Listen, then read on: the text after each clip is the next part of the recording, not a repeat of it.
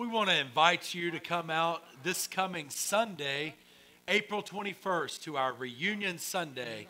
It will be our 15th anniversary of being in South Holland. First Baptist Church of South Holland has been here these years, and we continue on with the legacy, and we look forward to seeing you there if the Lord permit. Brother Gennaro, tell us a little bit about Okay. what they might expect or what you feel on your heart. Oh, well, Reunion Sunday is a, a chance for us to get back into fellowship with one another. That uh, some of us have been here for a while, and then some have gone out and, and they've just been absent for a while. It's, it's a time to come back and uh, have this big old family reunion. We're all under one Heavenly Father, and we, we would love to see you. A reconnect Sunday, then. I Yes, think that's a good idea for this reunion. right. Montreal, what are you thinking on? I think uh, I got an idea what he's thinking Oh, on. this is the fun part. This is the food that I'm thinking of. We got fried chicken. We got mostaccioli.